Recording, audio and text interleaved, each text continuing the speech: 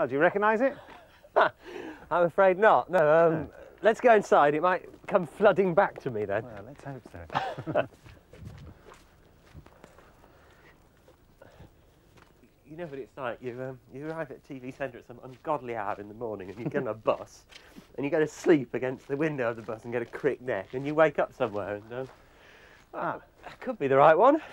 let's have a look. Ah, um, seems to be locked.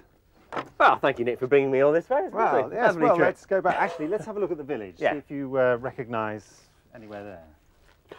Desperation creeping into your voice. Yeah. Um, there's a sort of interesting uh, cross in the middle of the village. Perhaps that Yeah, might ring a bell. we hope so.